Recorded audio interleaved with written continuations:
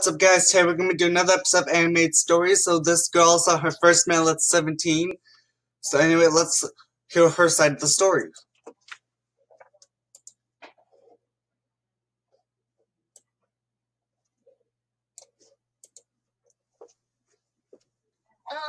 Boys are so complicated. I know a lot of people have strange relationships with the opposite gender, but I can guarantee you that my tale really takes the cake. Do you think you have problems talking with boys? Imagine how confused I got the first time I ever saw one. I was head over heels and a complete idiot.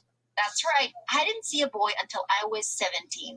I didn't even know there were other genders besides females. I'm really not kidding. You're probably one. So who enrolled this girl? Did they just enroll this girl in an all-girls school? Because that kind of sounds like the case. And then when she was 17, she moved to a, a both male and female kind of school. Wondering how that was possible. Well, that's kind of a long story, but I promise it's worth the wait. Before I go into any of that, don't forget to like this video and subscribe to our channel. If You heard that. crush will Don't forget to subscribe to mine, too. days. I didn't grow up with the concept of a crush or romance. Instead, I was raised in a very alternative way. When I was just a baby, I somehow ended up in the middle of nowhere in a big house filled with only women and girls. We did everything together. We referred to ourselves as a commune, but in retrospect, it was more like a cult. We all wore the same clothes and had our hair done in the same way. We all looked eerily alike. To outsiders, it was like we were all sisters. In actuality, the headmistress decided what we would look like and gave us little makeovers to be her walking clones. Some girls were lucky enough to have naturally blonde hair, but I was forced to bleach my hair at a very young age. She took us having the same image very seriously. It went well beyond matching dresses and hair colors. This one time when I was around eight, this girl around my age went off into the woods without telling anyone. That kind of thing was explicitly against the rules. She ended up playing around the forest and got her head stuck in a broken maple tree. By the time some of the older members were able to find her, her hair was completely covered on the stuff from the tree. After maybe an hour of trying to wash it out, the headmistress came out with a knife and cut it all sloppily off. It looked so bad, but that wasn't the worst part. So let me get this straight, guys. She was at an all-girls school, but they had this dressed the same way. So to outsiders, she had to look. She had to look like sisters on the outside world. When in reality, she's just looking like her headmistress. Next, she ordered us to line up and one by one, and she started giving everyone the same sloppy haircut. I loved my hair, and when she came to me, I cried as loud as I could. It wasn't my fault. Why was I being punished? There's no I here, the headmistress said as she lopped off my hair, which was already brittle enough from all of the bleaching. She also cut her hair in the end, effectively making us all hideous. That's just what the cult was all about wiping away our individual identity. I know this sounds like a nightmare, but for years it was just my life. There were lots of shady things I discovered from time to time, but I never addressed them because I found it normal, or I did for a while at least. One day, I decided to go on my own little adventure. I was only about eight.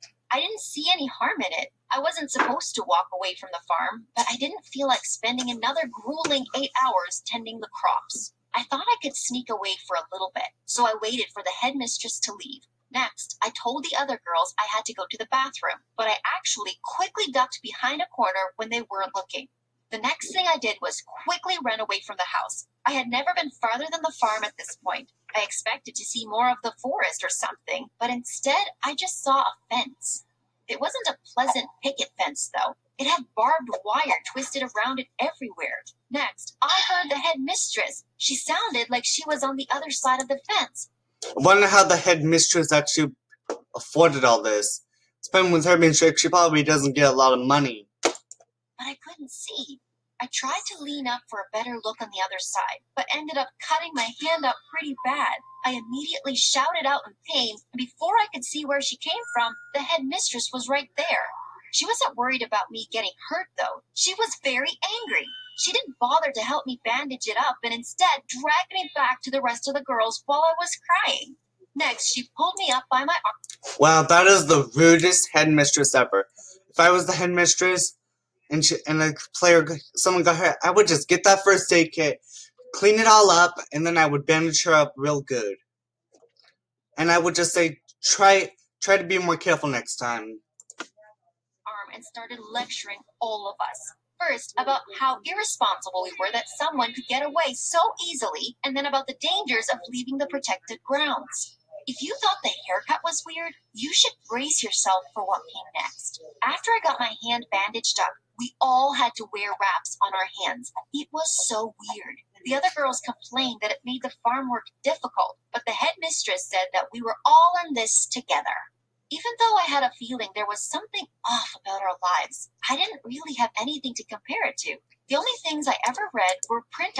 Actually, if I was also the headmistress, I would I wouldn't have made somebody dress up differently. I would just I would just limit like to the shirt or something like that, or at least the same kind of sweatpants.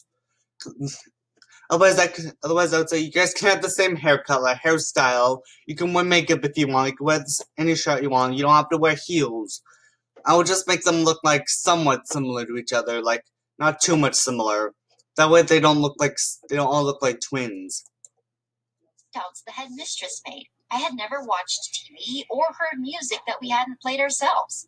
I honestly thought that the world just sort of ended beyond the walls. The headmistress explained how we lived at the center of the world, and beyond the fences, it was full of monsters and the unknown.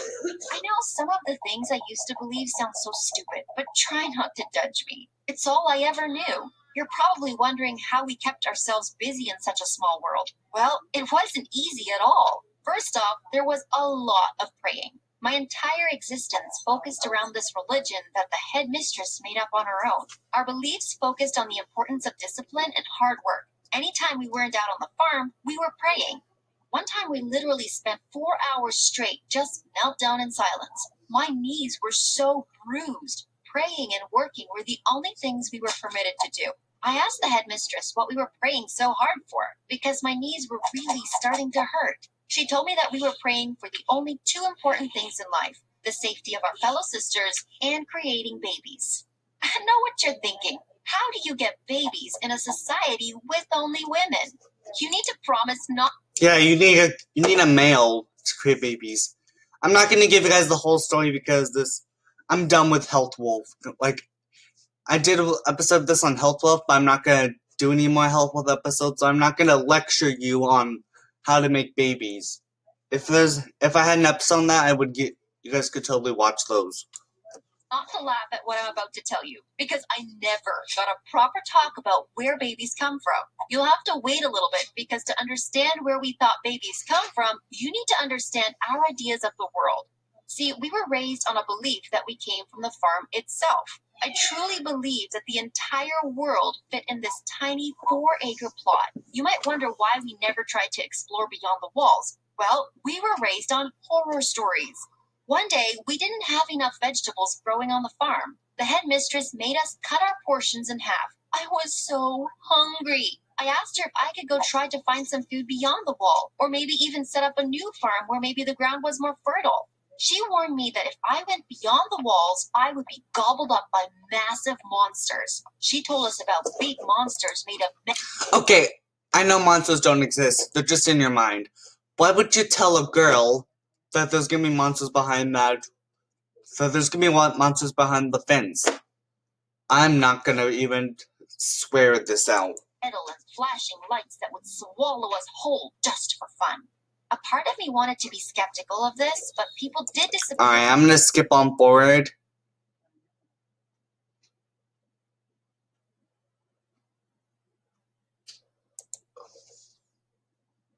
A farm and rotating out of your old job. I had kind of expected to be switched from pumpkins to apples, but I was shocked to hear she had a much bigger job in mind.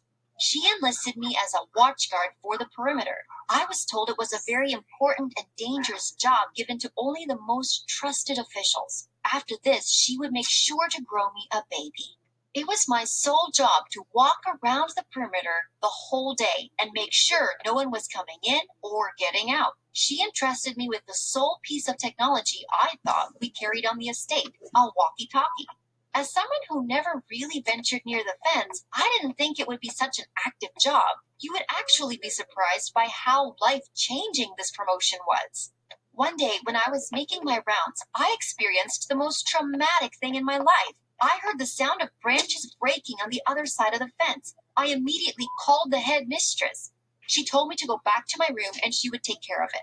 My curiosity got the better of me, and I decided to blow out my candle, shut off my walkie talkie, and ducked behind a bush to watch.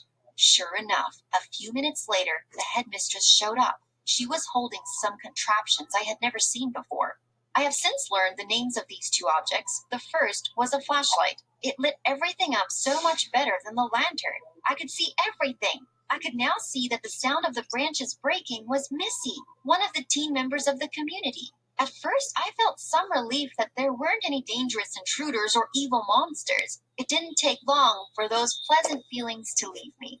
Right after Missy started apologizing for leaving, the headmistress pulled out the second contraption. What I know now was a gun. Missy. Oh no, that is so child abuse.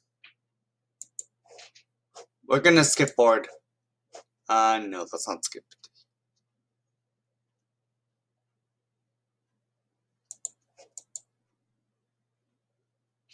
To a monster. I shouted at the person to hold on. I was going to rescue them. That's when the person came out from the monster. They were not like any girl I'd ever seen. They were super tall with broad shoulders and hair all over their face. They spoke with a super deep voice that made my Wait a minute, is that a male? That's a male. stomach drop. Hey, hey, hey, they said. What's all the commotion about? Are you okay? My mouth went dry, and I couldn't get any words to come out at all.